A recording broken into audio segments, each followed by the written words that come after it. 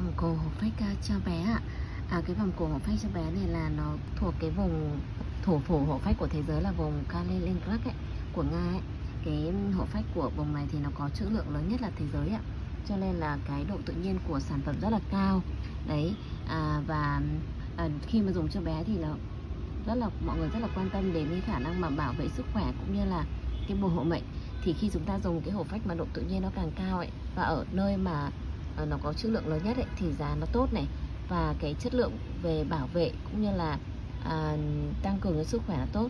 Cái hàm lượng độ tự nhiên cao thì chứng tỏ cái hàm lượng axit sulfuric trong cái sản phẩm nó rất là cao.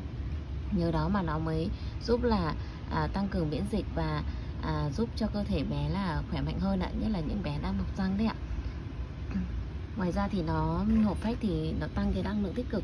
Đấy những bé nào mà sử dụng thì luôn luôn là hoạt bát rồi linh động năng động á đấy, các sản phẩm này thì là chính hãng tại Facebook thì các bạn có thể tham khảo trên cái trang của Facebook ạ.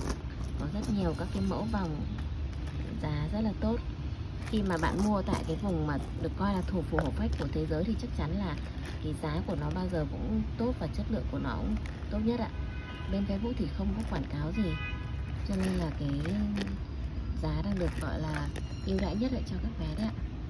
Để chúng ta nhìn thấy cái độ tự nhiên trong sản phẩm này cái, cái sản phẩm này nó rất là bên ngoài nhìn nó thực sự là nó rất là cuốn hút và nó đẹp.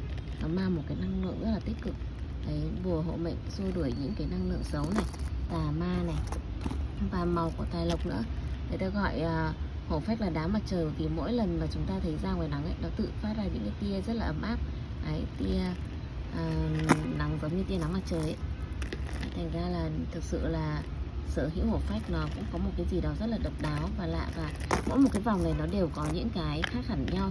Đấy bởi vì nó là à, từ hổ phách bản hổ phách thật chứ không phải là pha hay là pha trộn copan hay là pha nhựa. Đấy hoàn toàn là tự nhiên thật sự ạ.